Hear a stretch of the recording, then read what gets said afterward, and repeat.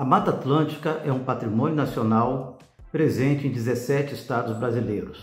Portanto, o Instituto Nacional da Mata Atlântica tem a nobre missão de contribuir para o conhecimento, conservação e desenvolvimento sustentável no âmbito deste bioma, de maneira que cumpre um papel essencial na provisão de serviços ecossistêmicos para os brasileiros, bem como na conservação de uma das maiores diversidades biológicas do planeta.